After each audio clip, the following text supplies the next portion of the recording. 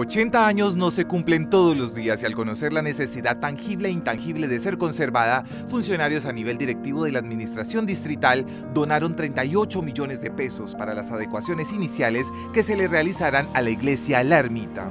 La labor que realizamos desde el comité que se instaló hace más de aproximadamente un mes fue que los funcionarios de nivel directivo de la alcaldía, secretarios y subsecretarios y jefes de unidad de apoyo voluntariamente donaran un día de salario. Hoy se vio reflejado esa donación de aproximadamente 38 millones de pesos. Este templo es una joya arquitectónica de Santiago de Cali, por lo que la Administración del Puro Corazón y la Iglesia Católica invitaron a la ciudadanía a sumarse a la ermitatón y de esta forma aportar su granito de arena para la recuperación de este icónico lugar.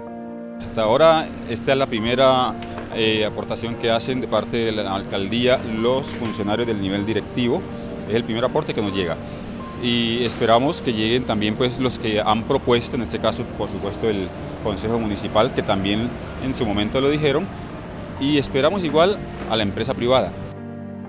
¿Dónde puede donar un ciudadano del común? Pero usted puede ir perfectamente al banco. ¿A cuál banco? Banco Ave Villas, hay una cuenta de ahorros. Y en esa cuenta de ahorros 101, 124, 832, usted puede ahí hacer su aporte. Los 38 millones de pesos que corresponden a la donación de los funcionarios de la Alcaldía de Santiago de Cali serán destinados para las adecuaciones urgentes del templo, entre ellas las bajantes de aguas lluvias y las humedades que afectan el techo y las paredes.